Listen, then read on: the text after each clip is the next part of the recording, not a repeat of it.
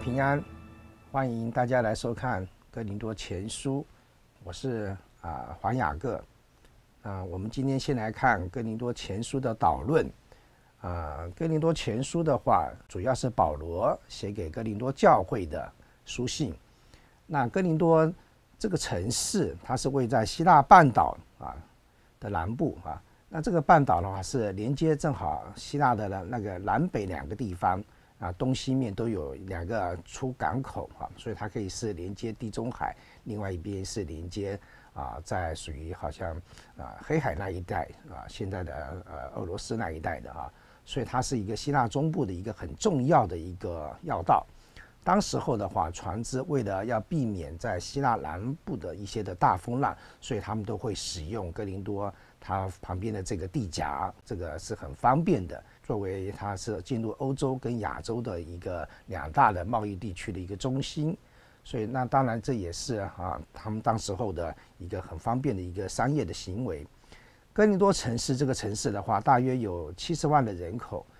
其中的话大部分都是奴隶哈。因为当时罗马帝国有奴隶的这个制度哈，大概三分之二哈，所有的奴隶，所以再算起来的话，大概差不多四十万的啊人是奴隶哈。那它是一个罗马的一个军队的的一个驻军的一个城市，所以有罗马的军队在那边，但是被非常的希腊化，所以希腊文、希腊语言是在当时候的一个很普通的一个话，就好像我们现在所讲的华语，是我们整个华人世界很普通的一个语言。那哥林多的话是雅盖亚的一个省的省会哈，它不论在文化艺术还有经济方面的话，都非常的发达。当时候的商业行为也是非常的繁荣啊，算是一个呃很大的一个城市啊。它是一个在罗马帝国来讲的话，算是一个第四的一个大城啊。人民的生活所得非常高，所以相对的生活也非常的奢华。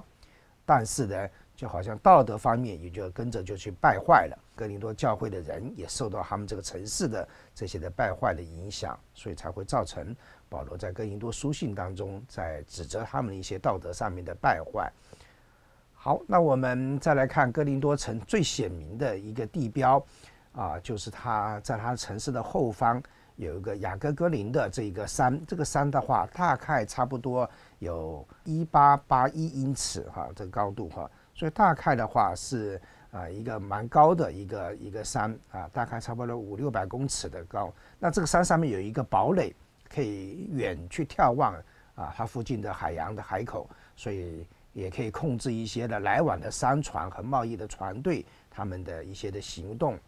但是这个山上面有一个很有名的一个女神庙，这个是亚夫罗底特的这个女神庙。当时候盛况的时候，这个庙上面有大概一千多个庙妓啊。那亚夫罗底特的话，女神是美丽跟。一个爱情的一个象征的哈，在罗马的话，它的名字叫做 Venus 啊，在希腊就叫做亚亚夫罗底神，好，所以这是当时候的哥林多城有这样子的哈，啊庙妓非常的多，非常有名哈，所以因此也带来了一些的观光客、游客，也因此也就有一些的很不好的一些的啊生活上面的淫乱的行为。啊，所以古时候有一句话，在当时候他们也很流行：我们活的人要活得像哥林多人，意思就是写明啊，在哥林多的人的生活是非常的奢侈、非常的淫淫华的。所以这也就说明当时候这些人们对一些哥林多城这个向往的心情是这样子。好，我们现在再来看哥林多啊这个前书的作者。当然，顾名思义的话，我们可以在。哥林多书信的经文当中就告诉我们，这是保罗所写的哥林多的书信，因为在他的序言当中，第一章的话就已经非常看得清楚了，这个作者就是使徒保罗。那哥林多教会的话是使徒保罗他在第二次的旅游布道的当中他所建立的这个教会，所以这本书的话，在早期的初代教会的当时当时候的这些教父们就一致的肯定，这卷书就是使徒保罗所写的。好，所以的话，保罗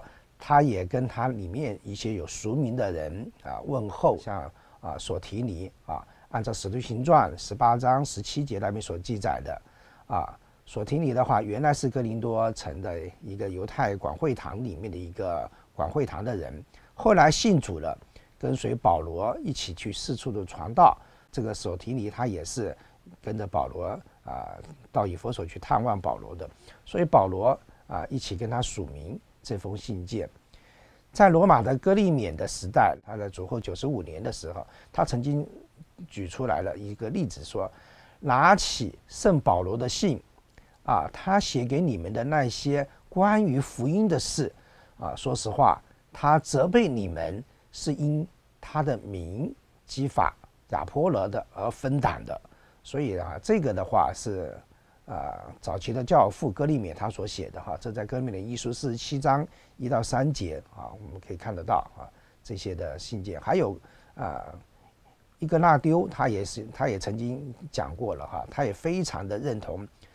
哥林多书信就是保罗所写的哈啊，他常常谈起保罗在哥林多前书当中的事，所以这两个教父也可以让我们佐证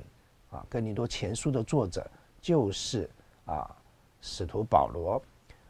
保罗刚才前面讲过，大概是在公元后五十年的时候，第二次旅游布道的时候，建立的哥林多教会啊。那个时候的话，与罗马来的一些的犹太的一些的夫妇啊，雅居拉、百居拉哈，他们一起在那边传福音。这个在使徒行传十八章的经文当中，我们可以看得出来，他在这个地方逗留了大概一年半的时间以后才离开的。然后回到以佛所去，然后再回到耶路撒冷，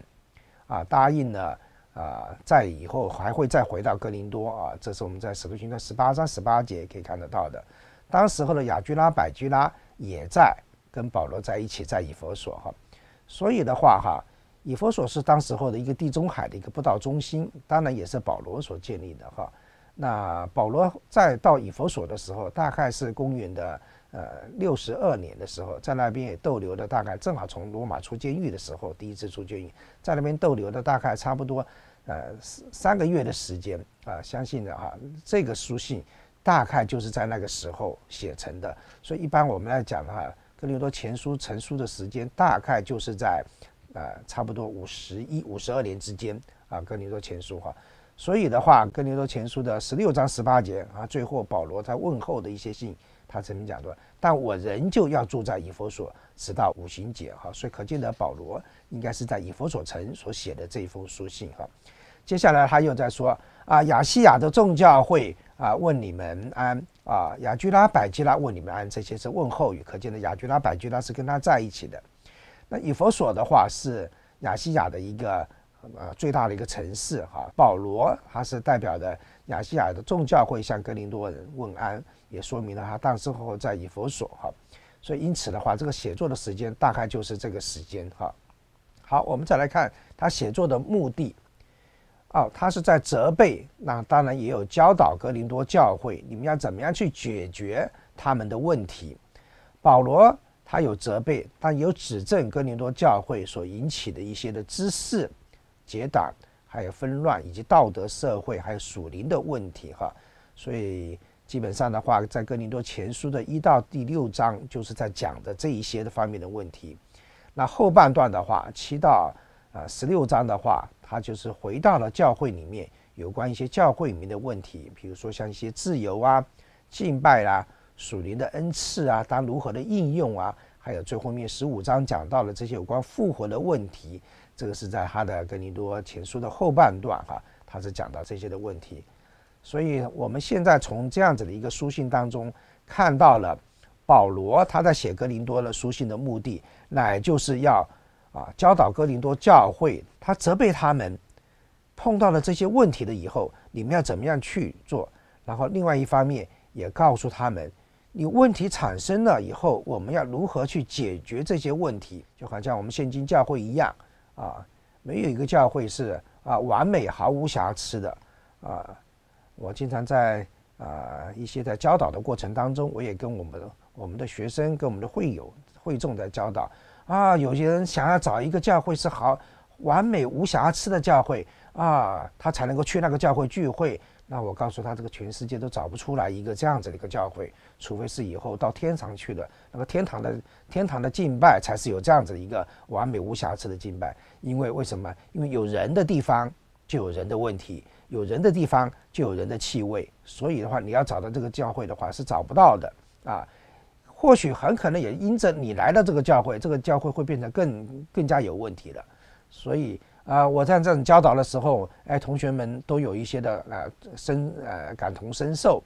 所以保罗在写哥林多书信的目的，就是在教导，特别是在前书当中啊，因为哥林多信徒哈，他们在当时候的教会。受到了社会的影响，我们刚才前面也讲过了，哥林多这个城市非常的繁荣富裕的，但是相对的也带出来了道德的败坏。那这样子的人进入到教会当中啊，他的灵命还没有更新的时候，也就会影响到他的在服饰的这些的方面，也会把这些社会的问题带进来。所以这个保罗在哥牛多前书里面就讲到这些啊，所以这个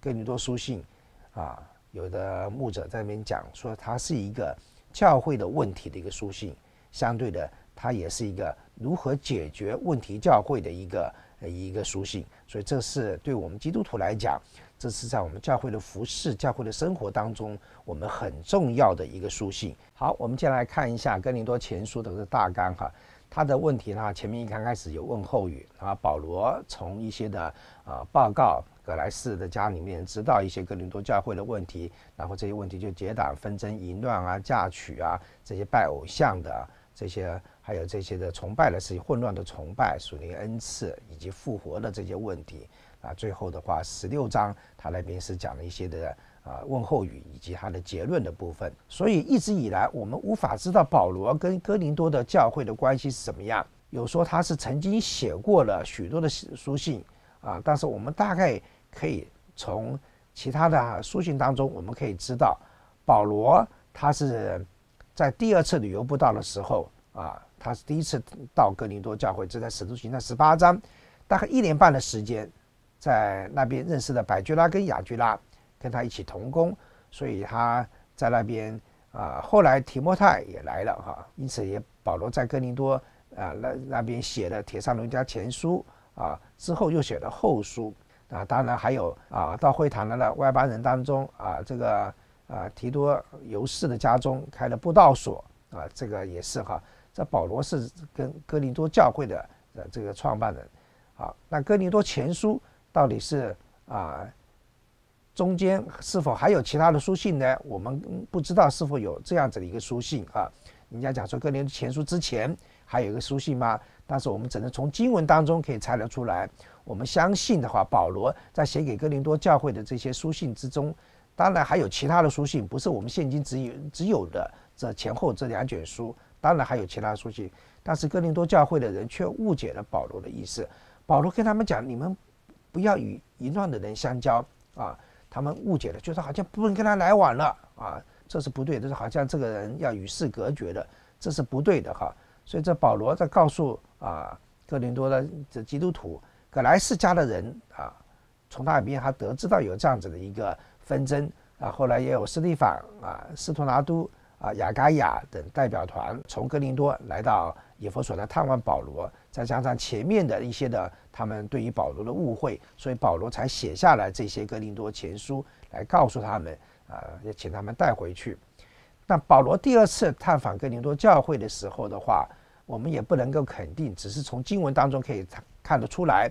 啊，从哥林多后书十二章十四节啊，跟十三章的一到二节，我们可以推断出来，啊，保罗在第三次的旅行布道的时候，他可能去了哥林多教会，啊，那保罗也曾经在以弗所，在第三次的旅行布道的时候待了三年之久，所以以弗所与哥林多之间常有一些船只的来往，啊，以上的两卷书，哥林多前前书，啊，是一些的啊，有一些的争论。但大部分的学者专家都是还是认为啊，都是在以佛所所写的哈。